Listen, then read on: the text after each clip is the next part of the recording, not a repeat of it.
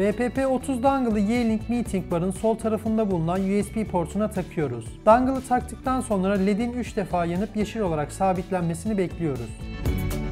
Yeşil led sabitlendikten sonra VPP30 dongle'ı bilgisayarımıza takıyoruz.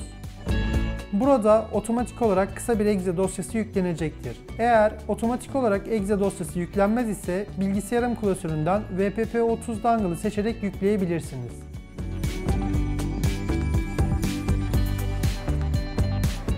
Bu aşamadan sonra sol alt kısımda bulunan Biot Mod seçeneğine tıklayıp Meeting barı, kamera, mikrofon ve hoparlör olarak istediğiniz platformda kullanabilirsiniz.